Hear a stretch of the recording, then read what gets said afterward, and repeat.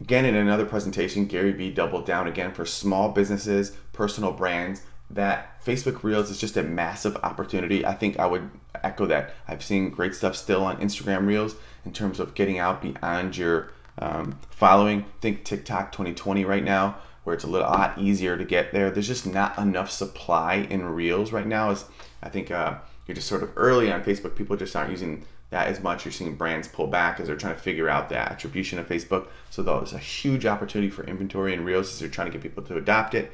And they're just again supply and demand with um, creators just not posting there. Again, I think uh, this is due to Facebook's just notoriously shitty organic reach that's been there for since 2015, 2016. Most people didn't even uh, uh, even part of their marketing mix anymore. They were more focused on Instagram or TikTok or YouTube as a places to grow organically. But now Facebook's get back in the back in the mix. Gary again has said Facebook fan pages and Reels are uh, seeing significant growth again for the first time in a long time.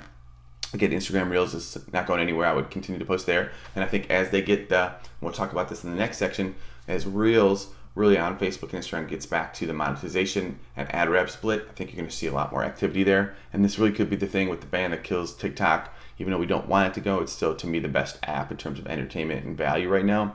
Um, these are very real alternatives.